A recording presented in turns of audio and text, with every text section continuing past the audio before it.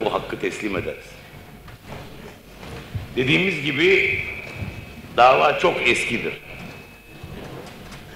Eski Yunan'da, Eflatun'da sosyalizme bir nevi asla alakası olmadan. Çünkü o idealisttir. Her şey onun için fikirlerden ibarettir. Fikirler alemine inanan adam. İşte idealizm Eflatun'la gelir biliyorsunuz. Fakat cemiyetteki bazı yaraları görmüş olan insandır. Zaten yarayı inkar edecek olan yoktur.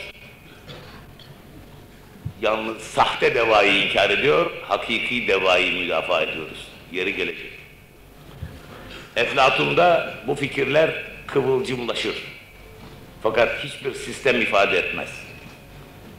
Ondan sonra Rönesans'ta Campanella var. O Pays du Soleil, Güneş Beldesi diye bir eserinde bu mesut ve hayali bir cemiyet tasavvur eder ve orada emeklerin bir nevi adil, fert üstü bir teşekkülden adil bir taksimini hayal eder.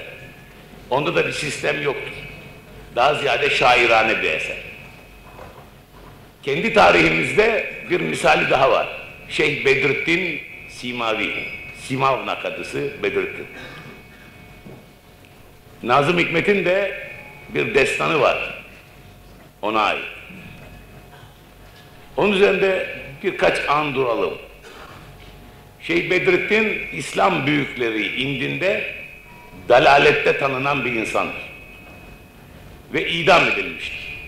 İslam'ın adaletindeki büyüklüğe bakın ki mahkemede hakim ona sorar.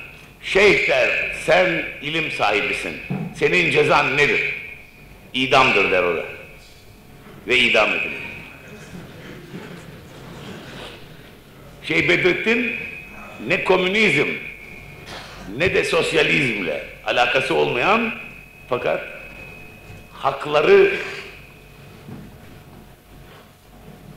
cemiyetin bugünkü yapısı dışında gören bir insandır.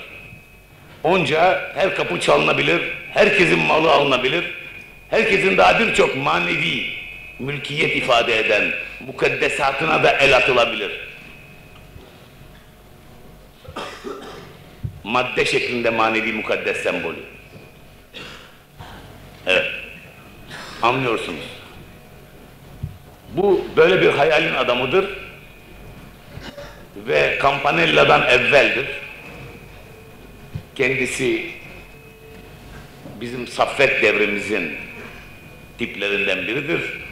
O devirde o devri fesada uğratmanın imkanı yoktur ahlaki saladet bakımından. Takip edilir ve idam edilir.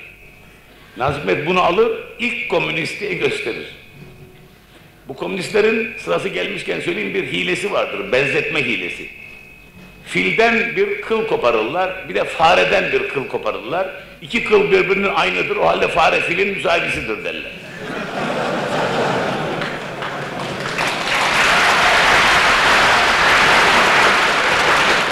Bütün hilekarlıkları buradan gelir. Bir gün de benim için bir komünist, bugün komünizmi hatta idare eden Paris'ten bir komünist, bir şiirimde sadece Allah'ın vecdi önünde Erime'nin şiirinde yandı sırça saray ilahi yapı bin bir avizeyle sonsuz maddede dedim diye beni maddeci olarak ilana kalktı. Madde kelimesini kullanıyorum diye. Bunların diyalektiğini anlamak lazım. Yarınki komünizm konferansı, konferansım bunun büyüğüdür. Orada her şey vardır. Diyalektik, fikrin büründüğü eda. Diyalektiklerini keşfedersek hilelerini de buluruz.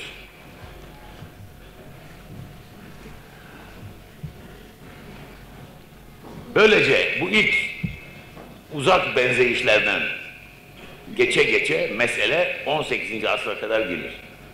Rönesans yapılmıştır. Garp yeni bir ışığa kendince kavuşmuştur. İnsan aklının hakları teslim olunmuştur. Ve Fransız inkılabı, beşeriyetin en büyük inkılabı olan Fransız inkılabı hazırlanmaktadır. Biliyorsunuz onların başında ansiklopediciler var. e, malum isimler saymayı yok. Voltaire, Diderot vesaire. Ve inkılabın zemini hazırlanmaktadır.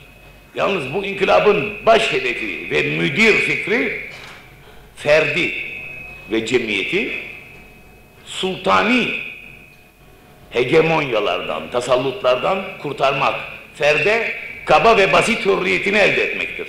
Yoksa fertler arası adalet ve adaletsizlik davası değil. Onun için sosyalizmden de bir haber yoktur Fransız İnkılabı'nda. Fakat Fransız İnkılabı öyle bir zemindir ki o zeminin içinde artık her şeyin doğması beklenir. İyi veya kötü kıymet hükmü koymaksızın bir kir nahiyesinde her türlü böceğin doğmasının beklenmesi gibi. Nitekim hemen bir devre sonra dava baş gösterir.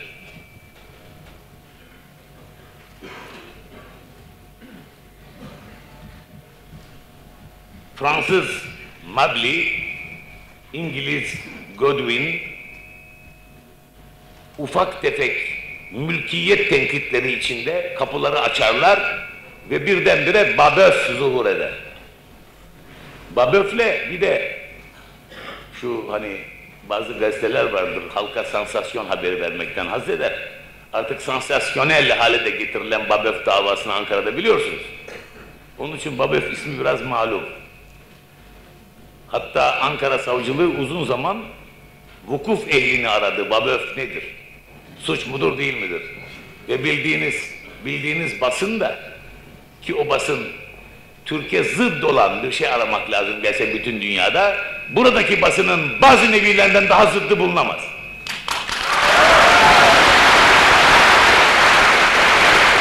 Onlar Babeuf'ün bir büyük mütefekkir olduğunu, hiçbir şeyle alakadar olmadığını, komünizmden şu kadar evvel, sosyalizmden bu kadar evvel olduğunu, bunun bir fikir eseri olduğunu iddia ettiler. Ben de birçok konferanslarımda dedim ki, eğer Ankara savcısı vukuf ehli arıyorsa, mütehassısa gitmeye lüzum yok. Basit bir lügat kitabı alsın eline, mesela Fransızca Larouste'un küçük nev'ini alsın eline ve Babeuf maddesini açsın. Orada şunu görecektir. Bir nevi ve ondan da vahşi komünizm getiren adam. Babeuf'te sosyalizmle alaka yoktur. O kilisenin yıkılması, bütün mukaddesatın inkar edilmesi, ruh hayatının söndürülmesi, her şeyin maddeye yaracağı gibi, gibi maddecilik de yoktur. Ve mülkiyetin kalkması davasını bir nevi haşin ve hissi fikri değil, bir komünizm içinde müdafaa etmiş olan insandır. Evet, Fransız İnkılabı böyle bir zemin açmıştır ki artık orada müsbet menfi her fikir kaynaşır. Babeuf'ü de kısa bir zamanda idam ederler ve o dava kapanır. Babeuf'te sosyalizmin zarını yırtmaya doğru bir adım vardır fakat sosyalizm gene yoktur. Memleketimizde en büyük felaket cehalettir. Hele tabir avcılarının cehaletine çıldırırım. Çünkü bilmedikleri tabirleri kullanırlar. Mesela bir küçük izah. Hümanist derler, hümanist. Hümen insani demektir. Hümaniste insaniyetçilik demektir zannedilir. Hiç alakası yok. Hümanistler eski Yunan metinlerini ilk defa tercüme edenlerdir. Bakın o nerede, bu nerede? Vaka insani bir tarafı var. Bunun gibi. İlk defa daha iki arkadaşıyla beraber birbirinden habersiz üç arkadaştır bunlar. Saint Simon, Fourier ve İngiliz Overlis. İlk defa Saint Simon'un elinde bir sistem ifade etmeye başlar sosyalizm. İsmi de yoktur. Nitekim Babeuf'ün mesleğine Baburuizm derler. Saint Simon'unki de Saint Simonizm'dir. Sosyalizm değil. Başlangıçta demiştik ki sosyalizm tesadüfi bir mefhumdur. Şimdi yavaş yavaş yeri geliyor. Babeuf bir konttur, kont. Büyük arazi sahibi ve kapitalist. Claude Henri Claude Comte de Saint-Simon. Muhteşem bir ailenin oğlu.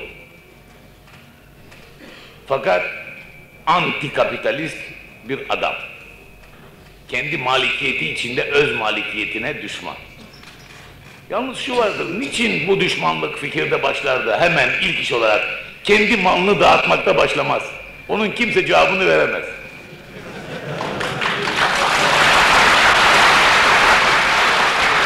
Nitekim solun, ortanın solunda olanlara biraz sarkın deseniz sarkamazlar.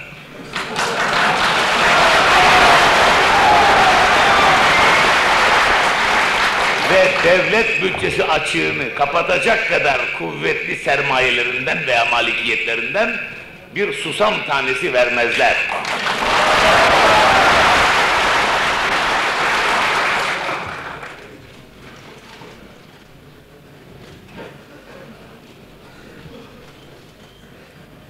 Evet, Babeuf. Fourier ve İngiliz Owen. Şimdi biz Babeuf'teyiz. Şey, Saint Simon'dayız. Saint Simon'un dört tane talebesi vardır. Enfantin, Bazar, Leroux, Blanqui. Bunları da biraz bilhassa Blanqui ile Leroux'u hatırda tutalım. Babeuf'ün beş tane esası var. İşte sosyalizm karşınıza yavaş yavaş çıkacak. Bütün bir salahiyetle meseleyi müdafaa edebilir. Bu beş esas şunlardır. Her fert istidadına göre kıymetlendirilecek. Her istidat bu bir.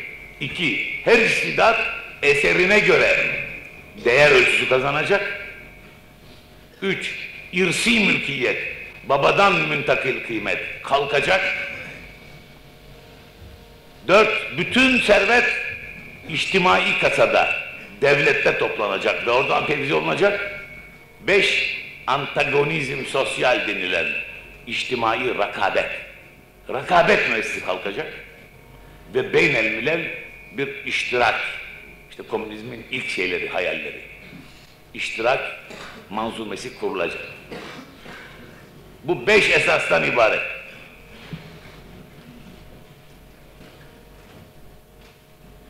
Dediğimiz gibi bu mesleğin de ismi sensimonizmdir ve henüz ortada sosyalizm mefhumu yoktur.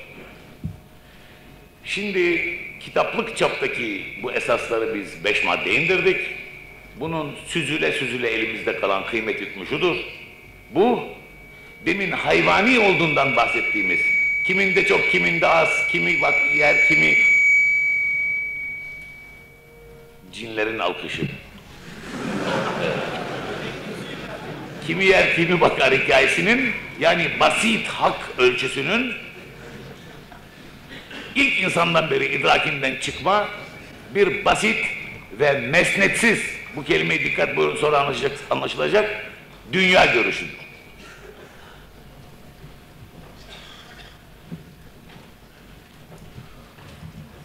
Şimdi bu davanın en çürük tarafı ki bu dava Sensimon'da tekemmül etmez, daha ilerlerini göreceğiz. En çürük tarafı demin de mesnetsiz tabirinden kastettiğim gibi iki büyük zeminden mahrum olmasıdır. Bir tanesi metafizik zemindir. Yani madde ötesi fikir zemini. Bütün meslekler ve mezhepler bir mücerrede dayanır. Bir büyük niçine dayanır. Bunun niçini yoktur. Bu kendi çerçevesinde böyledir. Niçin bunda var, bunda yok hikayesi bu kadar. Ve bütün olanların cemiyet kazasına intikali için bir ideale ihtiyaç vardır. Bugün her vesileyle kullanılan şehit ismi esasda büyük idealistin Allah için kendisini feda etmesi demektir.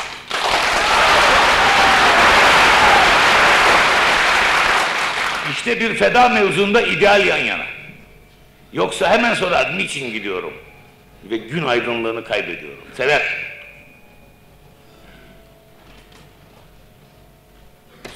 Sensimonizmde bir mesnet yoktur.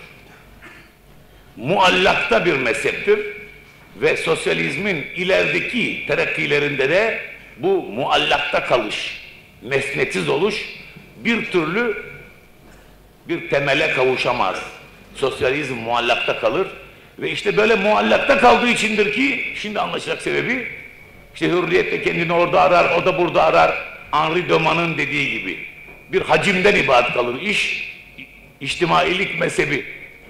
Hangisidir bu? Merkeziyeti nerededir? Onu da göreceğiz. En büyük karakteri bu. Ve bu yüzden ona karşı olmayan bütün müesseseler hemen kendisinde ona iltihak, ittisal, birleşme şeyini duyar. İlk adımı atan kilisedir. Çünkü sosyalizm Allah'ı inkar etmez. Takdir ettiği bildiği için değil. Etmediği için etmez. Bir fikri yok. Ahlakı inkar etmez. Ruhu inkar etmez. İşte oradan yürümek isterler bazı sosyalistler dikkat edin. O halde birleşebilir. Milliyetçiliği inkar etmez. İşte nasyonal sosyalizm son devre kadar gördüğünüz şeyini. Onun için her sistem kendine göre sosyalizme iltihakta mahzur görmemiştir ve sosyalizm bin şualı bir yıldız gibi o istikamet, bu istikamet, şu istikamet her istikamete dağılmıştır.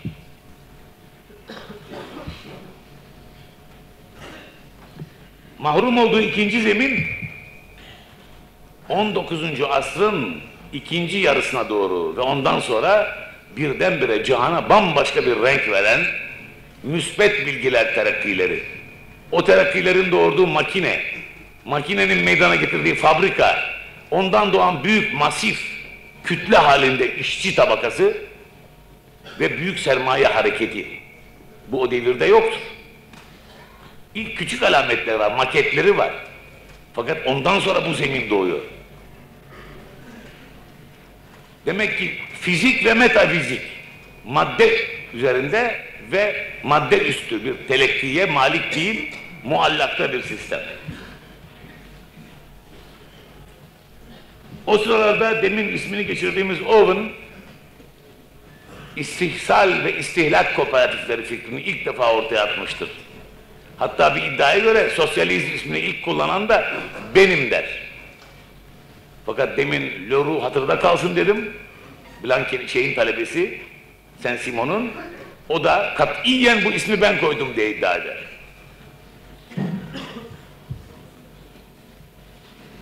Fourier bir garip yarı deli adamdır. Üç, üç kişiye bağladım ya sosyalizmin doğuşunu. Bu adam Falanster isimli bir hayale sahiptir. İşçilere mahsus, da işçi pek yok o devirde, emek sahiplerine mahsus bir site tahayyül eder. Falanjlar gibi Romalılarda. Falanster. Bu sitede onların bütün ihtiyacı görülür, her şey birbiri içindir, herkes birbirinin emrindedir. Herkes. Bu bir bulutlar üstü hayat tasavvurudur. Yoktur böyle bir şey imkan. Ve Fourier'e yarı deli gözüyle bakılmıştır. Gene Saint Simon bu üçü arasında ilk vazı yani kurucu, fikrin kurucusu terekki olunabilir.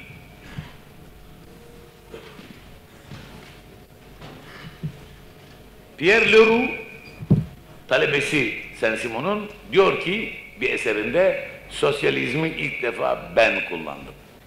Owen'da ben kullandım diyor. Hakikaten de şu kullandı diyemiyoruz. İşte ismin tesadüfiliğinin yeri geldi.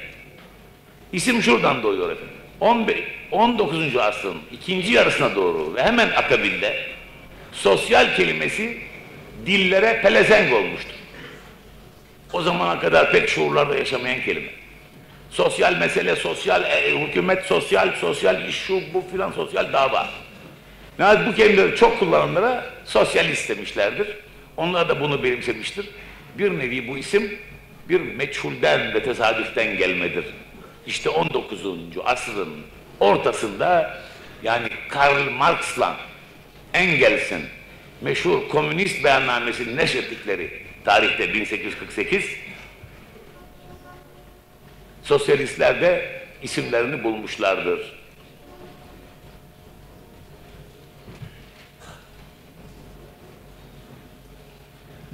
Şimdi sosyalizm ismindeki bu umumilik zaruri olarak bir umumi sosyalizm doğuruyor.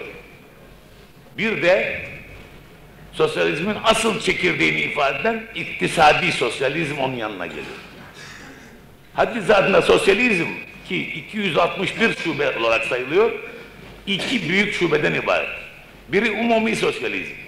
Yani her kuvveti, kudreti, salahiyeti devlete izafe etme mesleği.